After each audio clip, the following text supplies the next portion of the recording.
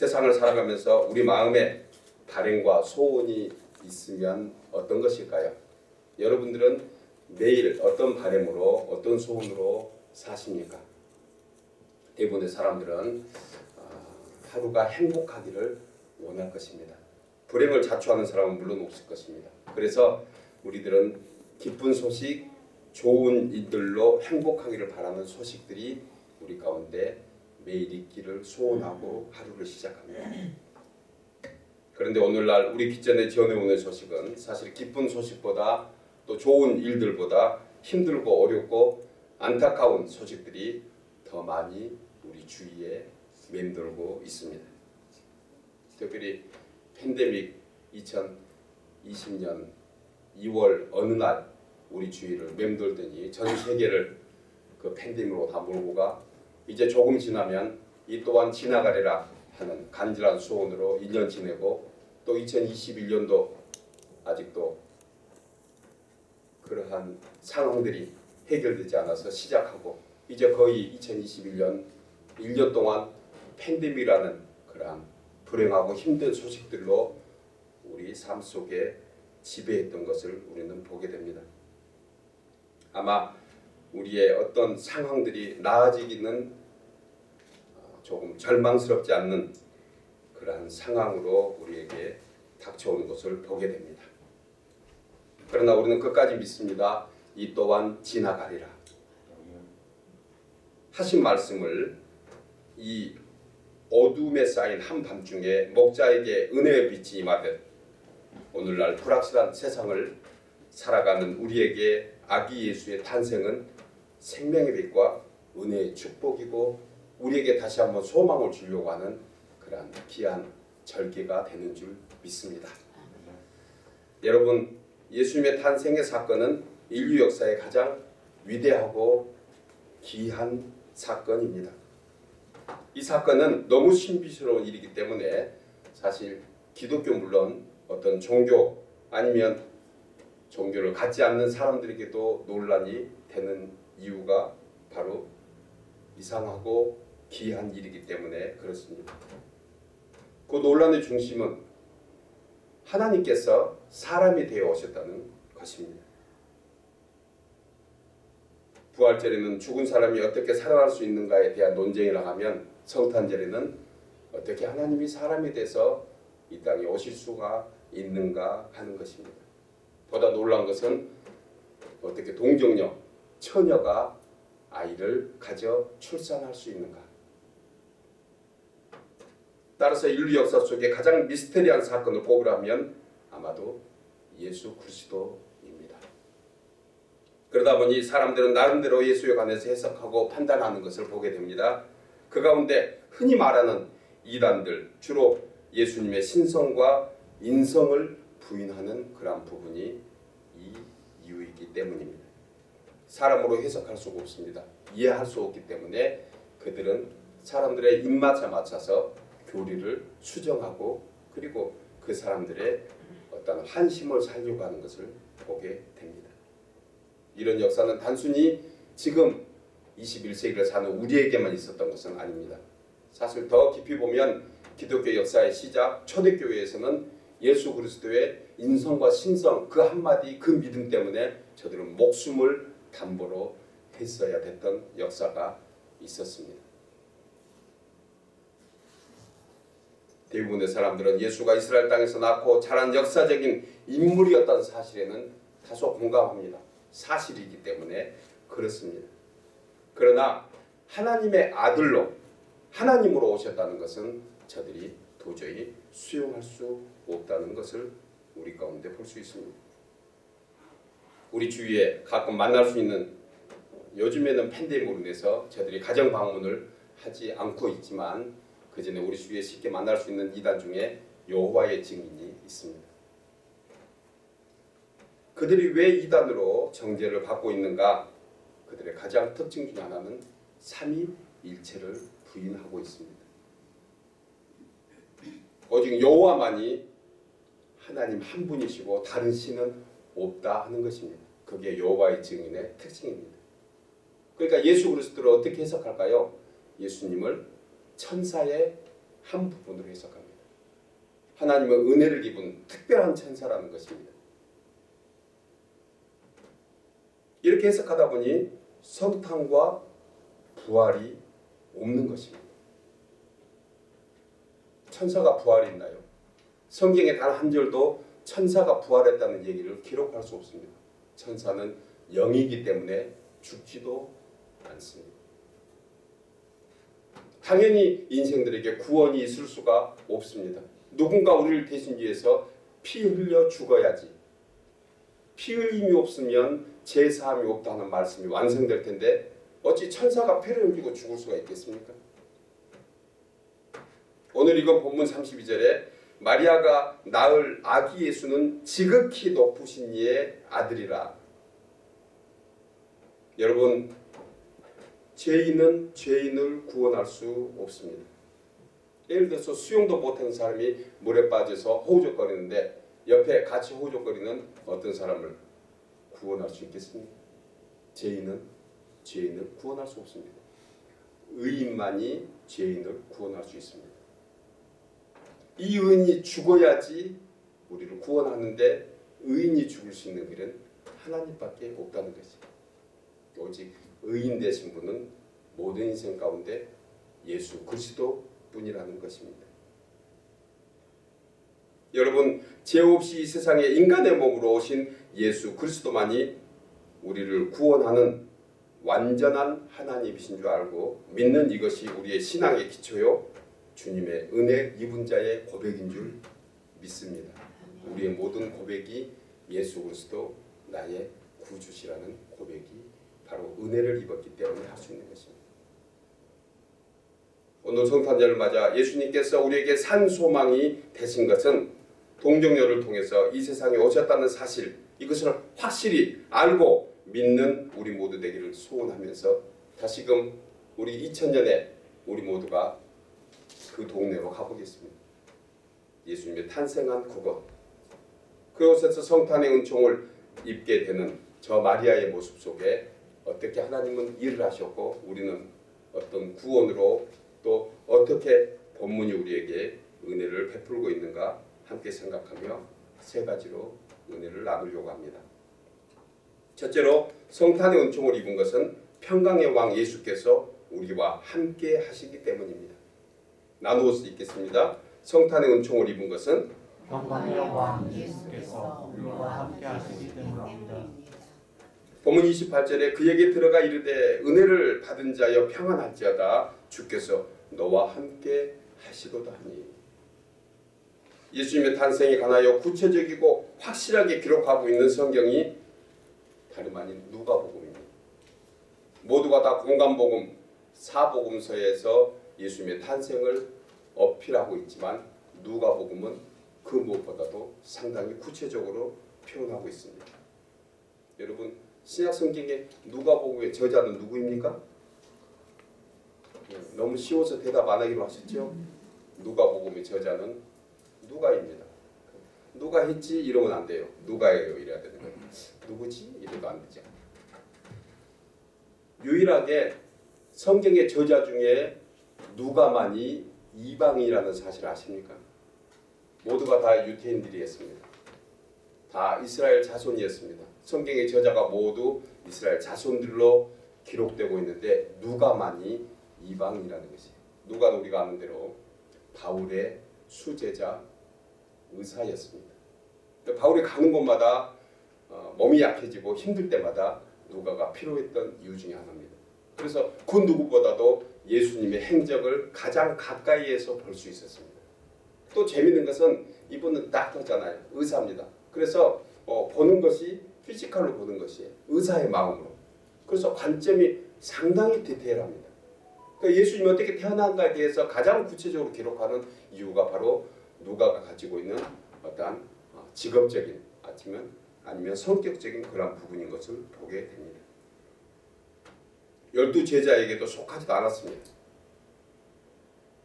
그런데 예수님의 탄생부터 부활 승천 그리고 초대교회 성령이 어떻게 역사했는가까지 기록할 수 있다는 것은 누가에게 굉장한 성령의 지혜가 임했다는 것입니다.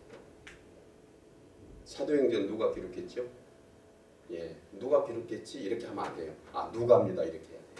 사도행전 누가 기록했습니다. 그러니까 예수님의 탄생부터 죽으심, 부활, 그 다음에 성령, 초대교회 모든 어떤 초대교회의 가장 중요한 기독교의 어, 참 기초를 우리에게 전해주는 그런 저자가 바로 누가입니다. 조금 전에 말씀드린 것처럼 누가는 의사이면서 역사가로 불릴 정도로 예수님에 가서서 주관적입니다. 그러나 이방인들이 어떻게 예수님을 이해할 수 있을까 하는 이방인의 그 심정으로 또한 기록했다는 것은 우리에게 상당히 중요한 부분을 얘기해주고 있는 것이. 그걸 객관적으로 한 것입니다. 유태인의 관점에서가 아니고 이방인으로서 객관적인 관점에서 예수님을 소개했다는 것이에요. 좀 전에 말씀드린 것처럼 사도행전은 초대 기독교의 가장 중요한 역사 자료입니다. 성령의 행전이라고 불려집니다. 사도행전 몇 장까지죠? 몇 장까지지 이렇게 하면 안 돼요. 아 28장까지. 그런데 사도행전은 끝이 없습니다. 아십니까? 사도행전은 28장에서 끝난 것이 아니에요. 거기서 조금 바울의 어떤 행적을 살짝 2편으로 넘겨놓은 것입니다. 왜 그랬을까요? 우리에게 그 일을 이어서 하라고 한줄 믿습니다. 그러니까 지금 예배하고 있는 우리 모두는 사도행전 29장을 쓰고 있는 거예요. 할렐루야. 여러분들은 사도행전 왜 놀래서 아멘 안 하세요? 사도행전 29장의 주인공들을 믿으시기 바랍니다. 교회는 하나님의 나라가 이루어지는 그때까지 계속 세워집니다. 끊임없이 세워집니다. 교회가 없어진 것 같지요. 요즘 팬데믹으로 인해서 작은 교회들이 힘들어서 교회가 폐쇄되는 어려움을 당하는 그런 부분 보는 것 같지요. 그러나 여러분 저는 교회의 역사는 봄불과 같다고 생각합니다. 제가 대학 시절에 친구들과 함께 가끔 뒷동산에 도시락을 까먹었던 기억이 납니다. 그때 직구진 친구 하나가 아, 이렇게 그 라이터로 어, 불을 붙이더라고요. 그런데 옆에 그, 어, 그 잔디 하나를 그냥 우연히 한번 이렇게 살짝 대본 거예요. 그런데 조금 있으니까 보이지 않던 불이 예 여러분 봄불은 보이지 않습니다. 저는 그때 깨달은 것이 있습니다. 아 하나님의 역사는 보이지 않지만 살아서 생명력이 있구나. 지금도 가끔 우리 친구들의 그 추억을 생각하면서 봄불과 같다. 그러니까 봄불은 어, 여름불하고 좀 다릅니다. 가을불하고 달라요. 보이지 않습니다. 특별히 금잔디 같은 것은 마른 풀들이라 보이지 않는데 그래서 아주 혼난 적이 있습니다. 저는 오늘날 모든 교회 성도들이 사도행전 29장을 다 쓰고 있다고 믿습니다. 저와 여러분이 그 주인공들이십니다. 얼마나 기쁘십니까? 안 기쁘십니까? 여러분들 표정은 기쁨은 그렇게 나오십니까? 여러분 우리에게 하나님께서는 놀라운 일을 하고 계십니다. 혹여 우리가 다 이루지 못한 일이 있으면 우리 후임들을 통해서 우리의 자손들을 통해서 하나님 나라는 끊임없이 전 세계에 봄불과 같이 전파될 줄 믿습니다. 제가 이렇게 누가에 관한 말씀을 드린 이유가 무엇일까요? 예수님의 탄생은 역사적인 사실이라는 것을 말씀드리기 합니다. 그래서 우리의 신앙은 사람이 지어낸 어떤 신화나 동화, 전설 따라 삼천리가 아닙니다. 인류에게 가장 큰 선물이며 지금도 믿는 한 사람 한 사람에게 성령의 역사로 하나님이 일하고 계시는 줄 믿습니다. 바로 여러분들이십니다. 한 분 한 분. 본문의 동정녀 마리아에게 예수님의 탄생을 알려준 천사가 누굽니까? 네, 누구지? 그러면 안 돼요. 가브리엘이라고 얘기해요. 가브리엘 오늘 본문이 얘기합니다. 가브리엘 천사가 나타났다. 여러분 성경에는 크게 세 천사장이 있습니다. 미가엘, 가브리엘, 그 다음에 못된 누구? 예, 누구지? 그러면 안 돼요. 누가 누구지? 그러면 루시엘. 그러니까 이 엘자가 붙은 것은 하나님이라는 뜻입니다. 하나님의 하나의 그 미닝이에요. 그래서 저와 여러분도 다 라스네임이 엘인 줄 믿습니다. 아멘은 권사님밖에 안 하시네. 우리 모두가 다 부르면 엘 그러면 아 우리도 하나님의 아들이구나 자녀구나. 그래 원래 루시 엘이었어요 원래 이름이. 그런데 타락하니 이름이 바뀌었습니다. 뭘로 바꿨죠? 루시퍼. 그래서 바뀐 거예요. 새 천사장. 루시퍼로 타락한 루시엘은 교만해져서 하나님을 대적하고 하나님의 영광에서 벗어났습니다. 여러분 하나님의 은혜를 입은 사람도요 교만해지면 하나님께서 이름을 엘자를 뗄 수도 있습니다. 죄송하지만 그것은 제가 그냥 성경에 있는 한 부분을 얘기한 것입니다. 우리 모두는 영원한 에리기를 주의 이름으로 축복합니다. 그러나 교만해지면 어쩔 수 없는 하나님의 진리의 척도에 걸릴 수 있다는 것을 함께 생각해야 합니다. 이사야서 14장 14절에 가장 높은 구름에 올라가 지극히 높은 이와 같아지리라 하는도다. 누가요? 루시퍼가. 가장 높은 곳에 올라가서 가장 큰 영광을 자기가 받고 하나님과 같아지도록 하리라. 이사야 선지자가 성령의 감동으로 루시엘을 루시퍼를 본 것입니다. 그러면서 그러나 이제 네가 수월 곧 구덩이 맨 끝에 떨어짐을 당하리로다. 그렇게 말씀하신 대로 루시퍼는 사탄의 우르머 우두머리로 타락했습니다. 그리고 오늘도 저 무리들을 끌고 저와 함께 갈 사람이 누구인가, 저 깊은 구덩이에 빠질 사람이 누구인가 찾고 다니고 있다는 사실 아십니까? 우리는 이 악한 계계에 결코 넘어가면 안 돼요. 이 모양 저 모양 우리의 성격대로 때로는 우리의 환경대로 우리의 본래 죄인의 모습을 긁어대면서 저들은 자기의 세력을 키워나가고 있다는 사실. 또한 천사장 미가엘은 수호 천사로서 악한 사탄 마귀로부터 송도된 우리를 보호해주며 주의 나라를 위하여 싸우는 하늘의 군대 장관이 즉 미가엘입니다. 그래서 군대 특별한 어떤 어떤 힘을 가지고 있는 그런 천사장이 미가엘 천사장이에요. 그리고 오늘 소개된 가브리엘은 주로 하나님의 기쁜 소식, 하늘의 기쁜 소식을 우리들에게 전하는 천사장으로 소개되고 있는데 오늘 본문에서 동정녀 마리아에게 성령의 잉태 소식을 누가 전해줬다고? 가브리엘이 전해준 거예요. 이 기쁜 소식만 딜리버리하는 가장 순한 예. 그래서 여러분 잠자기 전보다 주무시기 전에 가브리엘이여 나에게 오소서. 기쁜 소식 가지고 오니까. 본절에 보면 그에게 들어가라고 얘기했습니다. 그에게 들어가. 문맥의 흐름으로 보면 가브리엘 천사가 마리아가 살고 있는 집에 들어갔다는 그런 뜻이에요. 그런데 저는 이 뜻을 그렇게 단순히 해석하고 싶지 않습니다. 하나님의 은혜를 잊기로 자정한 사람은 주의 성령이 우리 마음에 들어오게 되는 줄 믿습니다. 어느 사이에 우리가 구주를 주라고 신할 수 있는 것이 성령이 내게 들어와서 그래요. 하나님이 나에게 친히 들어와서. 계시록에 보면 볼지어다 내가 문 밖에 서서 문을 두드리노니 너가 금성을 듣고 문을 열면 내가 그에게 들어가 그와 더불어 먹고 그는 나와 더불어 먹고 마시리라. 그러니까 우리 성령께서 우리 주위에 맹 맴돌고 계십니다. 좀 믿는 저희들에게는 이미 성령께서 임재하고 계시지만 사실 성령의 역사는 또 크기가 달라서 우리가 그 마음의 문을 열고 함께 그분의 어떤 역사에 공감해야 되는 것이.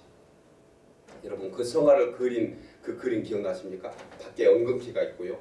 그리고 예수님께서 어떤 그 어, 덮밥 같은 것을 쓰시고 그 다음에 등불을 들고 그리고 어두운 세상이라는 뜻이죠. 기억나시죠 그림? 근데 중요한 게 한 가지 있습니다. 밖에는 문고리가 없어요. 야 대단한 영감으로 그렸습니다. 밖에는 마음대로 문을 열고 들어갈 수 있는 어떤 그런 부분이 없다는 거지. 안에서 열어줘야 돼요. 저 여러분이 매일 하나님 안에 산다고 하면서 그 마음의 문을 내가 열지 않으면 주님께서는 우리에게 욱박 지르듯이 강압적으로 들어오지 않는 사실을 우리는 다시 한번 생각합니다. 사랑하는 여러분, 그에게 들어가 이것은 우리에게 중요한 메시지입니다. 세례 요한이 잉태된 지 6개월 되었을 때 하나님의 가브리엘 천사가 나사리한 동네 다윗의 자손 요셉이라 하는 사람 약혼한 처녀 마리아에게 찾아갔다는 것이에요. 생각지도 않은 것입니다. 여러분 하나님의 은혜를 입는 것은요 우리에게 생각지도 못한 곳에서 은혜가 임하게 됩니다. 기대하시기 바랍니다. 소망하고 하나님의 은혜를 갈급하면 언젠가 은혜가 임하게 됩니다. 우리에게도 하나님의 은혜가 임하면 천국 백성 삼아 주시고 오늘날까지 구원의 반열에 인도하심은 물론 우리의 삶 가운데 우리와 함께 하시는 하나님을 만나게 됩니다. 뭐 결코 우연이 아닙니다. 사도 바울은 에베소서 1장 5절에 그 기쁘신 뜻대로 우리를 예정하사 예수 그리스도를 말미암아 자기의 아들들이 되게 하셨다고 했습니다. 아멘입니까? 우리가 하나님의 자녀된 것은 하나님의 특별한 예정된 섭리인 것입니다. 여러분 오늘 마리아는 자신이 예수님의 어머니가 되겠다고 자청한 적도 없습니다. 하나님의 뜻을 이루기 위해서 주님이 친히 찾아오셔서 함께 하신 것입니다. 더욱 중요한 것은 하나님께서는 지금도 우리와 함께 하시며 세상 끝날까지 영원히 함께 하시는 하나님이십니다. 우리 장로님 기도하실 때 임마누엘이라고 기도하셨어요. 임마누엘의 주님. 세 단어로 나눠진 거죠. 예. 히브리어인데 세 단어입니다. 임, 마누, 엘. 엘은 뭐죠? 예, 하나님. 그 다음에 누에 이것은 함께예요, 함께. 우리와 우리와. 그 다음에 임은 어떤 가수가 임과 함께. 그래서 뒤에서부터 해석하면 하나님이 우리와 함께 하시다. 마태복음 1장 23절에 보라 처녀가 잉태하여 아들을 낳을 것이요 그의 이름을 임마누엘이라 하리니 이를 번역하니 하나님께서 우리와 함께 계시더라. 사랑하는 여러분, 우리가 주님의 자녀된 것은 하나님께 친히 우리에게 찾아오셔서 지금도 우리와 함께 하시는 은혜가 성탄의 은총점 있고 아기 예수로 오신 주님을 전심으로 찬양하며 경배하며 영원히 영접하는 저와 여러분 되기를 주의 이름으로 축복합니다. 두 번째로 성탄의 은총을 입은 것은 거룩한 주의 성령과 능력이 임했기 때문입니다. 나누어 있겠습니다. 성탄의 은총을 입은 것은 거룩한 주의 성령과 능력이 임했기 때문입니다. 본문 35절에 이 말씀을 하고 있습니다. 천사가 대접하여 이르되 성령이 내게 임하시고 지극히 높으신 이의 능력이 너를 덮으시리니 이러므로 나실 바 거룩한 이는 하나님의 아들이라 일컬어지리라. 여러분 사람이 하나님의 은혜를 입으면 그 사람은 축복된 인생이 됩니다. 아멘입니까? 저와 여러분이 축복된 인생인 줄 믿습니다. 옆에 분들 정신 차리시라고 옆에 분들에게 선포합니다. 축복된 인생이 되셨습니다. 옆에 분들에게 얘기하세요. 축복된 인생이 되셨습니다. 허물 많고 연약한 인생이 깨끗한 심령으로 변하고 원망 불평에 가득한 사람도 하나님의 은혜를 입으면 감사와 기쁨의 인생이 됩니다. 여러분 하루 일과 생각해 보십시오. 하루에 눈 떠서 얼마나 많은 일로 때로는 원망 불평이 생길 때도 있습니다. 그런데요 그 순간 하나님만 초청하면 금세 그 마음에 평강이 찾아옵니다. 왜 그럴까요? 하나님은 그런 그렇습니다.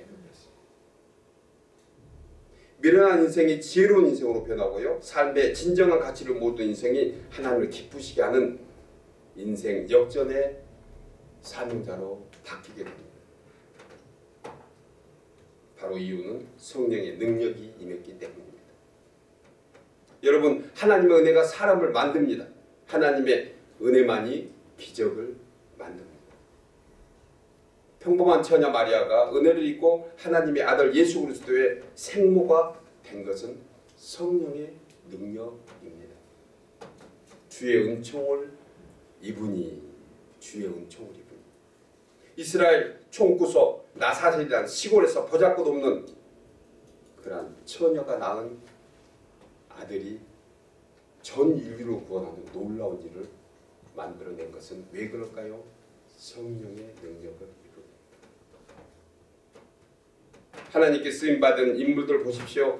모두가 하나님의 은총을 입었는데 성령의 은혜를 입었습니다. 노아도 아브라함도 요셉도 이삭도 야곱도 모세도 다윗도 다니엘도 그리고 허물 많은 베드로도 죄인 중에 개수라고 얘기한 바울도 모두가 성령에 감동되어서 하나님 앞에 귀하게 쓰임 받는 그러한 인물이 된 것을 우리는 보게 됩니다. 여러분 우리에게 세상 살이가 힘든 것은요 그 문제가 문제가 아닙니다. 사람이 힘들게 하는 것도 아닙니다. 환경이 어려워서 문제되는 것도 아니에요 사실은. 은혜가 없어서 문제됩니다. 아무리 힘들고 어려워도 하나님의 은혜를 받고 성령의 능력으로 살아가면 만사 형통한 인생이 될 줄 믿습니다. 주님 은혜 주세요. 은혜가 문제예요. 돈이 없는 것이 문제가 아닙니다. 몸이 아픈 것이 문제가 아니에요. 은혜가 없습니다. 은혜가 없으면 천금을 가지고도 불행합니다. 그런데 은혜가 있으면 두렵돈 가지고도 기뻐합니다. 저와 여러분이 두렵돈만으로도 기뻐하는 그런 만사형통의 인생이 된 줄 믿습니다. 아멘. 하나님께 칭찬받았잖아요. 과부가 낸 두렵돈 가지고 누구보다도 많이 냈다. 저가 나를 진정으로 사랑하는구나. 고린도전서 12장 31절에 너희는 더욱 큰 은사를 사모하라. 내가 또한 가장 좋은 길을 너희에게 보이리라. 그러므로 여러분 주의 은혜를 사모하며 더 큰 은혜를 구하는 우리 모두 되기를 바랍니다. 하나님의 능력은 말로만이 아닙니다. 하나님의 능력은 역사입니다. 우리가 믿지 못한 것이 문제인 것입니다. 너에게 겨자씨만한 믿음만 가지고도 이 산이 들려 저 바다에 던지로 하면 그리 되지. 겨자씨만한 믿음이라도 이건 생명력 있는 믿음 얘기하거든요. 아무리 좋은 차를 가지고 있어도 가스가 없으면 그 차는 고철에 불과합니다. 좀 헐고 낡았다 하더라도 그 차에 가스가 가득 차고 고장 나지 않는 차라가면 아무리 좋은 값비싼 가스 떨어진 고장난 차보다는 훨씬 능력이 있는 것입니다. 바로 저와 여러분이 하나님의 은혜로 비록 낡고 연약하고 세상 사람이 볼 때는 보잘것 없다 할지 모르지만 하나님 보시기에는 은혜 입은 자로 살고 있는 줄 믿습니다. 사랑하는 여러분, 마리아는 잉태 소식을 듣고 불안하며 두려움에 떨고 있었지만 하나님의 능력이 임하니 평안한 사람이 되었습니다. 성도는 성령의 능력을 입고 살아갈 때 평안하게 살게 될 줄 믿습니다. 저와 여러분이 이 성탄의 계절에 주님의 은혜를 풍성히 받아서 남은 날 그야말로 평안해서 만사 형통되는 그러한 하나님의 귀한 사람으로 살기를 주의 이름으로 축복합니다. 마지막 세 번째로 성탄 은총을 입은 것은 하나님의 말씀에 겸손히 순종했기 때문입니다. 나누어 수 있겠습니다. 성탄의 은총을 입은 것은 하나님의 말씀 앞에 겸손히 순종했기 때문입니다. 본문 37절 이하가 대저 하나님의 모든 말씀은 능하지 못하심이 없느니라. 마리아가 이르되 주의 요종이오니 어떻게 하라고요? 말씀대로 내게 이루어지이다. 생각해 보면 마리아의 이 같은 겸손과 순종의 고백을 통해서 인류 구원을 향한 하나님의 뜻이 이루어지는 것을 우리는 보게 됩니다. 만약 마리아가 이 같은 겸손과 순종이 없었다면 하나님은 아마 다른 길을 택할 수밖에 없었을 것입니다. 마리아에게는 하나님의 영광이 임하지 못한 것 너무 뻔히 압니다. 여러분, 우리에게도 매일같이 하나님의 은혜는 쏟아집니다. 믿으십니까? 하나님의 크고 작은 은혜는 우리의 삶의 현장에서 매일매일 우리에게 쏟아지고 있어요. 그걸 받을 수 있는 하나의 어, 바구니가 있습니다. 무엇일까요? 말씀 앞에 예 순종하는 거예요. 그 이거 못 하고 있으니까 말씀이 지나갑니다. 담아놓지 못하는 거예요. 말씀이 역사하지 못합니다. 하나님의 영광을 임하지 못하게 하는 우리의 작은 실수와 어떤 연약함이 말씀 앞에 순종하지 않는 것이 아닙니다. 여러분 당시의 유대 민족의 문화로서는 마리아의 헌신, 마리아의 이 yes 그렇게 하겠습니다. 하나님 말씀대로 내게 이루어 주소서 이 결단이 쉬운 것은 아니었어요. 목숨을 담보로 했어야 합니다. 오늘날 저 무슬림 지역의 어떤 악한 행동들 보지요. 예. 그 지도자라고 한 저희들은 인류를 힘들게 하고 인격을 무시하고 질서를 없애고 총과 칼과 힘으로 그들은 무력으로 하면서도 어떤 사람이 간음을 했다 아니면 어떤 일이 그런 일이 벌어졌다 처녀가 특별히 뭐 예를 났다 이러면 어떻게 하죠? 실제로 구덩이를 파가지고 거기다가 몸을 담그고 목만 내 걸어가지고 죽을 때까지 놔둔 거예요. 지금도 21세기의 지금도 그러니 이 당시에 유대 민족은 얼마나 이런 것에 철저했겠습니까? 이것이 율법입니다. 돌로 쳐 죽이는 것이. 만약에 마리아가 임신해가지고 턱하니 동네 사람들 나타났다고 한번 생각해 보십시오. 얼마나 황당한 일이 될까요?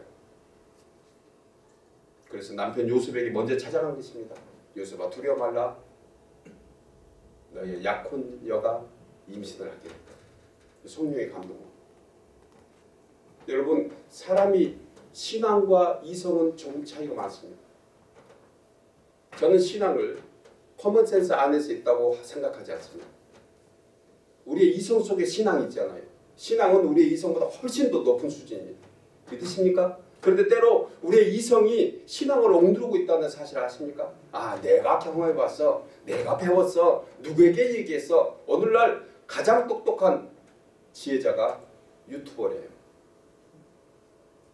그래서 구구리한테 물어보는 거예요. 남편 말도 안 들어요. 목사한테 물어보지도 않아요. 구구리가 최고래. 어떤 사람이 카톡을 보내면 카톡이가 최고래.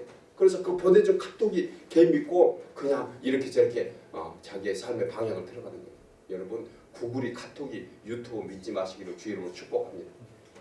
가짜들 엄청 많아요. 돈 벌려고 속여서. 하나님만이 우리에게 영원한 진실하신 분인 줄 믿으시기 바랍니다. 그때 말씀부터 말씀. 하나님 구글이가 이렇게 얘기하는데 어디에 있습니까? 말씀 찾아가는 거지. 사랑 여러분, 죽음은 죽으리라 결단한 마리아의 헌신, 헌신은 결코 작은 것이 아니었습니다. 그 순종의 결과로, 그 겸손의 결과로 하나님은 놀라운 일을 마리아를 통해서 하신 것. 창세기 6장에 나오는 노아에 관해서 8절에 노아는 하나님께 은혜를 입었다고 소개합니다. 여러분 노아 하면 무슨 생각나십니까? 노아 하면 예 홍수 방주 노아가 누구지? 노아가 신학 성경에 나오나 이렇게 하면 안 돼요. 노아는 홍수하고 방주 생각이 퍼득 나요. 당시 하늘에서 내린 것은 이슬밖에 없었습니다. 알고 계세요? 그러면 뭐가 없었죠? 비라는 단어가 아예 없었어요. 비라는 단어가 없으니 홍수는 더더구나 처음 듣는 거죠. 노아가 그 얘기를 듣고 국어사전 찾아봤을 거예요. 근데 없었습니다. 왜? 그 당시에는 궁창 위에 구름 그러니까 궁창 위에 또 바다가 또 있었거든요. 물이. 그래 궁창 위에 물이 그거예요. 그러니까 이게 노아 홍수로 인해서 하늘 문이 열리면서 그 물들이 육지에 땅에 쏟아지면서 홍수가 사실 일어난 거거든요. 그러니까 이 구름이 갇혀가지고 이 비가 갇혀가지고 그냥 그 이슬만 내려도 지구촌 전체가 남북이 없었잖아요. 어, 남극과 북극이 다 알고 계셨군요. 표정이. 예, 저는 저만 알고 알고 얘기했는데. 그래서 태양에 빛이 비치면 따뜻한 온수가 돼가지고요. 사방팔방 전 지역이 남극 북극 없이 다 따뜻한 거예요. 원리가. 그러니 사람이 스트레스를 안 받습니다. 오늘날 스트레스는 어디서 와요? 기온에서 온다는 사실 아십니까? 기후 변화가 우리에게 굉장한 스트레스입니다. 우리 몸이 움츠러지고 가끔 감기도 오고 이 모든 게 다 기후 변화. 그런데 그 당시에 인류들은 몇 살까지 살았어요? 예, 969살까지 살았던 무드셀라 같은 경우에 그렇게 살 수 있는 것은 바로 그런 환경을 가지고 있었습니다. 그러니까 비라는 소식은 한 번도 들어본 적이 없어요. 그런데 노아가 홍수가 일어날 거야 가서 배를 만들라 고요 배라는 단어도 그것도 산꼭대기에다가 이 얼마나 순종하기가 결코 쉽지 않았습니다. 그런데 노아는 순종했어요. 오늘 마리아나 노아나 공통 분모가 있습니다. 순종의 공통 분모 무엇일까요? 말씀대로 믿습니다. 말씀대로 내게 되게 하소서. 말씀대로 될 줄 믿나이다.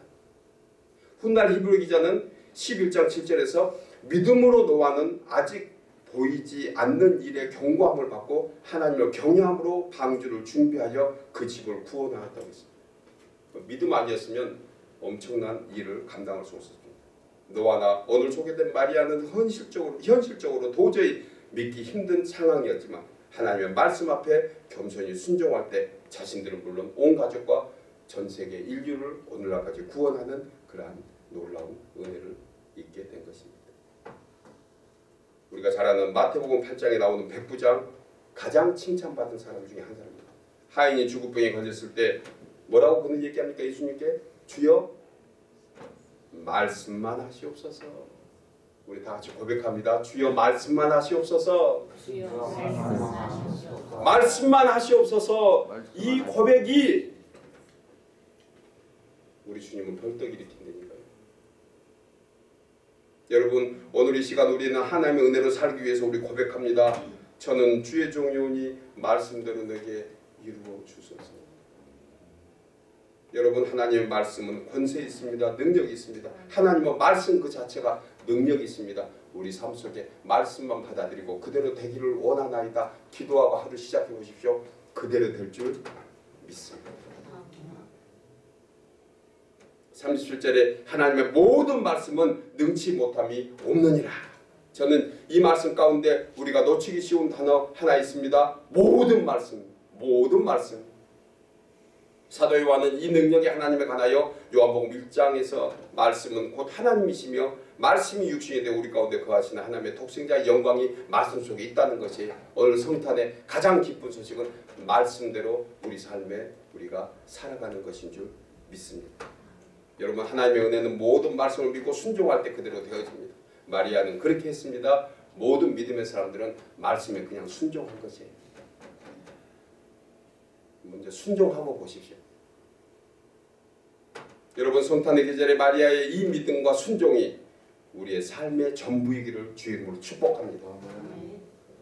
사랑하는 여러분 이제 더는 하나님 말씀 앞에 핑계대지 마십시오. 힘들다고 아니라고 손해 본다고 그렇게 생각하지 마시고 말씀을 우리 삶에 주여 말씀대로 내게 임하소서 고백하는 저와 여러분 돼서 이 성탄이 헛되지 않는 놀라운 은총의 계절이 되기를 주의 이름으로 축복합니다.